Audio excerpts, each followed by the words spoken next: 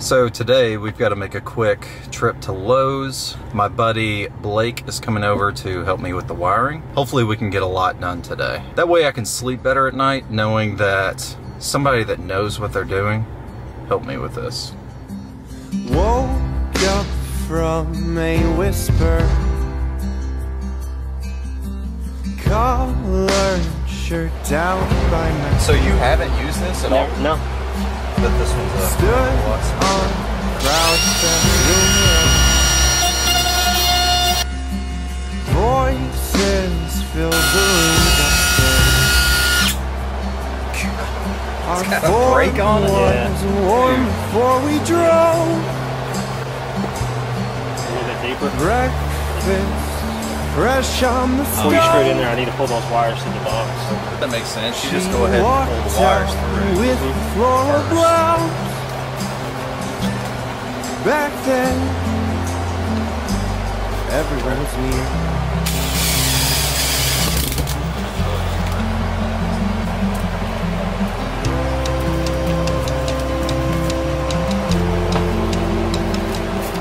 You gotta worry about a hot coming in, which is gonna be at the bottom. And then your wire for the switch is gonna be the black on top.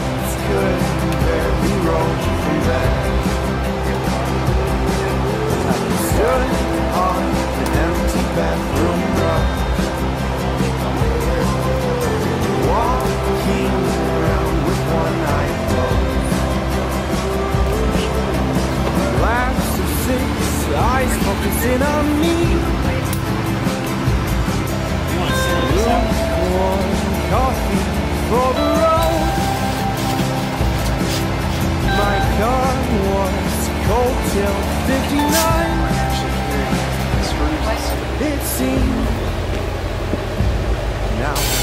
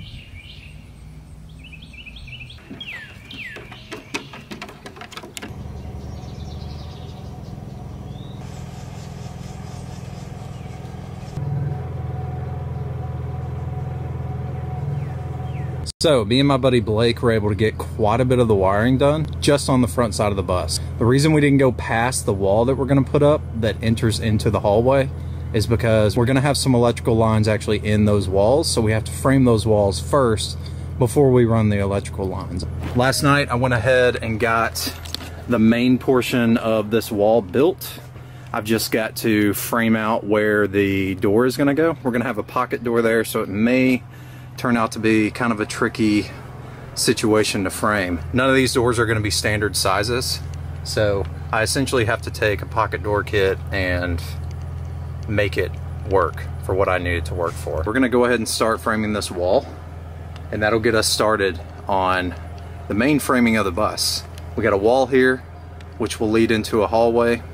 The kids' bunks are on one side, the bathroom's on the other side, and then in the very back will be mine and Jay's room. Have to finish framing that before we can do the rest of the electrical. That'll also allow us to go ahead and run water lines. And also too, I'm not exactly sure where we're gonna put our on-demand water heater. So hopefully in this construction process of framing, we figure out where the heck that thing's gonna go.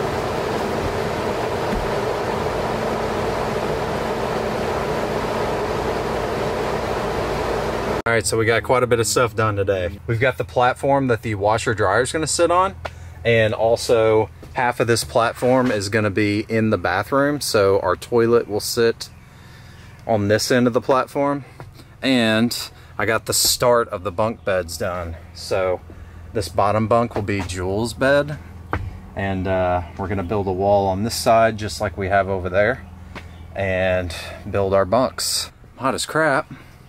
It is super humid here in Tennessee right now. And while I'm giving you guys a tour, I did want to show you our Honda generator.